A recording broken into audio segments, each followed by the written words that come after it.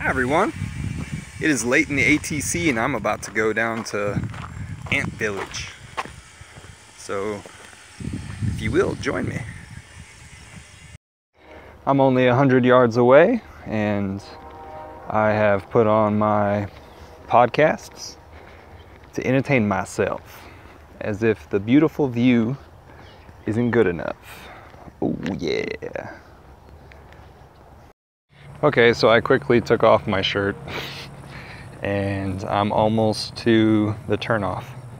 And then I'll start getting on some gravel and then I'll start having an incline, which, uh, ah, this is gonna be great. Okay, bye.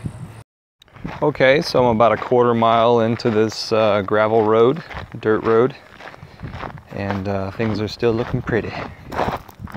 I just actually saw a deer in between me and the road over here.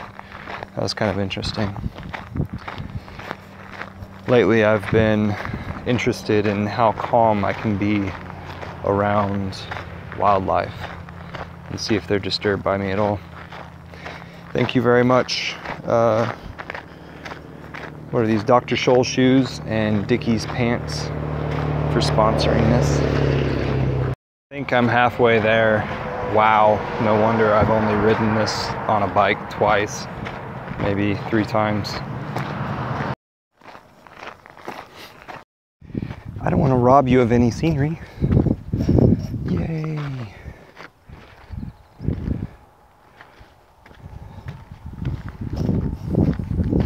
Is there anybody behind me? Right, the slope starts now, and I believe I'll have like an S curve. And uh, yeah, it's been a lot of fun.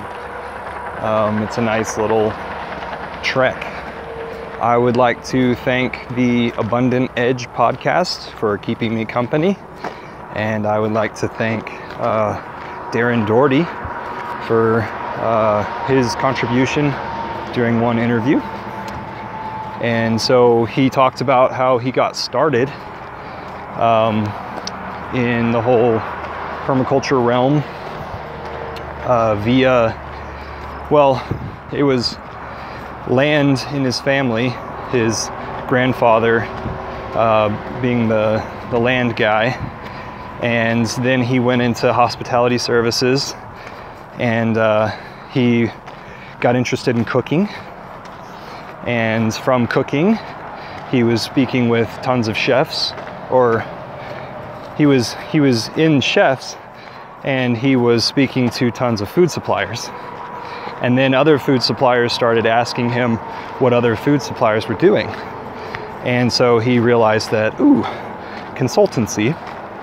And uh, I wanted to point this out because that seems like a great way to start getting involved in your local community if it is you have communication skills.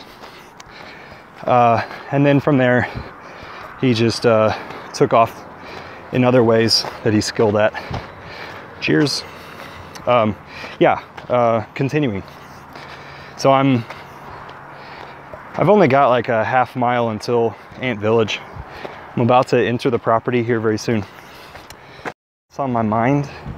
I wanted to share the, what I think is the quote of the interview. One thing led to another. As simple as that is. This is my second time listening to it, by the way. I chose that quote the first time I was listening to it at a desk. Bye. I think I'm right before the gate. There are two sort of steep areas, and I'm in the area that has leveled out in between. Oh, yeah. Oh, yeah. Okay, so now I'm past the gate and I'm looking for roads that turn off of this main road. Um, I, I forget what this road is called, uh, and I made the map, a map of what already existed.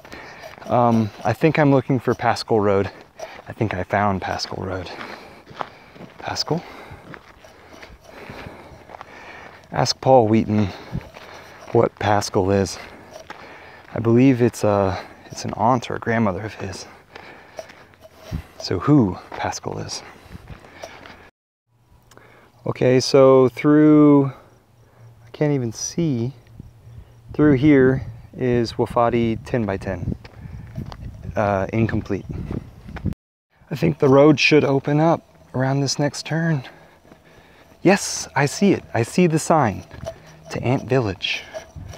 I see the sign. It's up there. I'll show it to you. I made it. It only took 30 minutes. And after politely um, refusing food, um, I am leaving Ant Village. They had wonderful smelling food. They they made a cob oven, and they are um, uh, they are cooking often communally in that cob oven, and they're inviting people um, to join them. So there were a few friends out there, and there were a few people from base camp out there, and that's really neat to me. Um, I talked with quite a few of the ants about um, uh, their homesteading and what it is that they want to do with themselves in the uh, short term and long term.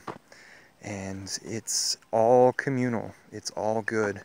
It's all um, it's all sharing.